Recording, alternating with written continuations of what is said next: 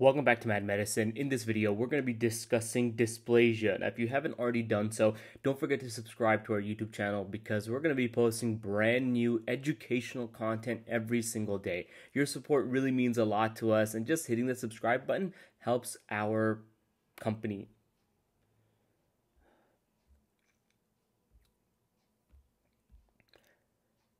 Welcome back to Mad Medicine. In this video, we're going to be discussing dysplasia. Now, if you haven't already done so, don't forget to hit the subscribe button on the YouTube account because your support really means a lot to us. We're posting brand new content, educational content for your examinations every single day. So with that being said, let's just dive right into it and let's talk about cellular adaptations and how they relate to dysplasia. One thing you got to remember is that our cells are constantly under a lot of stress because of the environment that they are in. And the simple example or the most basic example I have for this is your stomach lining. Your stomach lining is constantly being exposed to hydrochloric acid, which is a very acidic environment, right? And therefore, our cells in that environment have developed cellular adaptations in order to survive and thrive so that our stomach acid doesn't corrode through our stomach and go into our abdomen. Now, that is at the cellular level. When we're talking about organs overall, we need to remember that our organs are generally in a state of homeostasis and they're able to maintain that state of homeostasis by changing their structure and their size in order to adapt to the stress that's being placed upon them. That's very important because the type and severity of the stress is going to uh, cause the, a specific type of change. Okay, that's very important to remember. Now, an increase in the stress is going to lead to the growth of an organ occurring because this is essentially the adaptation our body has developed that we are able to adapt by growing our organ to better accommodate for that stress. There are two main types of growth adaptations, and those are hypertrophy and hyperplasia, both of which we've discussed in previous videos, and both of which are very high yield for your examination, so you should definitely know them very well.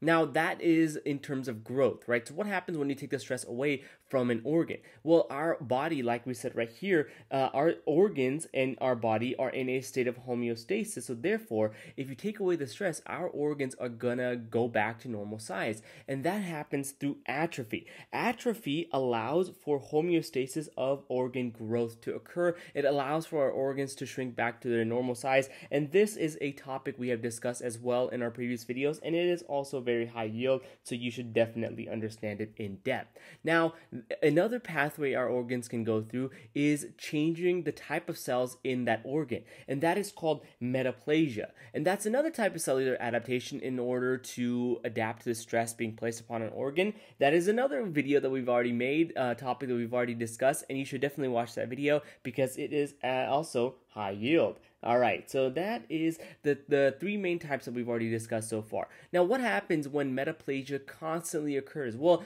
with constant metaplasia, you will see dysplasia, and that is what we're going to talk about in this lecture. So, what is dysplasia? Dysplasia is abnormal growth or development of cells, and it occurs because of disordered cellular growth. That is the main two things you need to remember okay? Because if you are asked what really is dysplasia, you need to remember that it is disordered abnormal growth of developing cells. Now, usually this is a precancerous lesion and the proliferation can progress onto cancer. And it usually arises from long-standing hyperplasia or metaplasia. So let's pause for a second and let's talk about this pathway. Let's say you have a normal cell, okay, or a normal organ and you put some stress on it, okay? This is all stress being placed upon an organ. All right, so there's two or three things our cells can go through. Number one, it can go through hyperplasia, okay? And if you watch our previous video, hyperplasia and hypertrophy usually occur together. There are some exceptions, which we're not going to go into right now, but usually it'll go this way. Or it can go to metaplasia. Now, if that stress is not removed, okay, this can progress to dysplasia. And if continuously placed under a lot of stress, this will lead to cancer. Okay?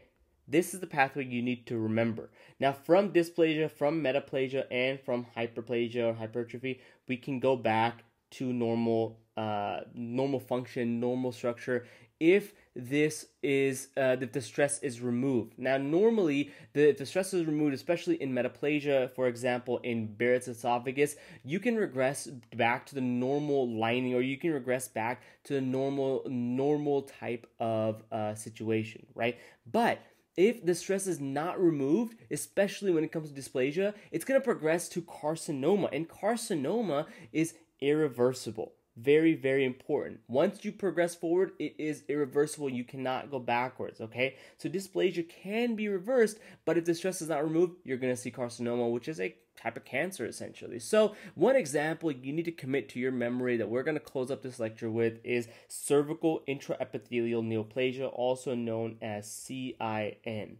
This is a very high yield topic. This is a very high yield subject that you're going to see over and over again. We're going to talk about this in this lecture, in our OB-GYN lectures, in our uh, uh, uh, cancer lectures, but let me give you a brief overview.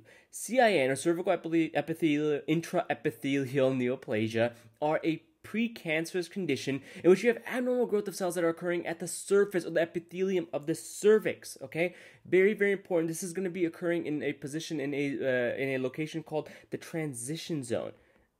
All right, transition zone. Now, again, we're not going to go super into depth. We're trying to talk about this pathologic condition in the context of dysplasia. Now, when it comes to CIN, they're usually classified as CIN 1, 2, and 3. Now, CIN 1 is also known as a low grade neoplasia, and this type of uh, dysplasia only will involve one third of the thickness of the epithelium of the cervix at the transition zone. CIN2 is usually uh, involving two thirds, and then CIN3 is a condition that has more than two thirds of the epithelium. Now, this is a very good schematic that I like that I put in here that helps explain what is going on, right? So, these types of conditions CIN1, CIN2, CIN3 these are all display, dysplastic conditions or these are dysplasias okay? Which means they are reversible. You can take the stress off you can remove the epithelium and you can uh, change essentially the progression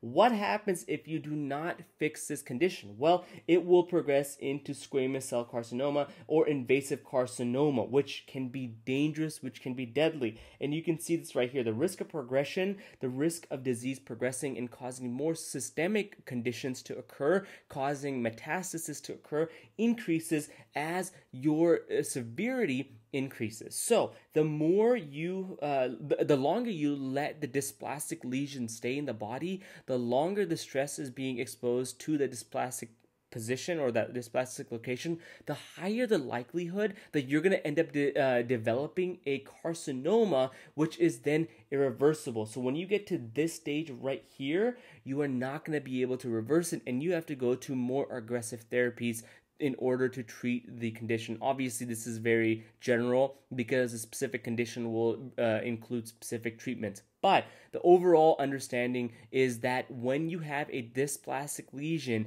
it can progress to a carcinoma, to a cancerous lesion, if not treated. So dysplasia is kind of the last resort, the last, uh, uh, the last safe zone, I would say. Even though it's not a, a good position to be in, it's the last safe zone before it progresses to cancer. So if you can catch something at dysplasia, if you can catch something in that region or in the metaplasia uh, part of the pathway you're going to be able to prevent cancer. And that's why we have all these screening tools, right? So that's why we have pap smears. We have all these tools now at our disposal with modern medicine to catch these precancerous lesions to prevent cancer from forming and from and to save lives. So that is essentially the concept of dysplasia you need to understand. A very very important concept. If you guys understood everything here, you're going to be very well versed in terms of dysplasia and you're going to be able to get the more uh, the harder questions and you're going to be able to understand the basic concepts really well. If you like this video, don't forget to subscribe to our channel because your support means a lot to us. We're posting regularly new content practically every single day. And with that being said, thank you again, and we'll see you back here in the next lecture.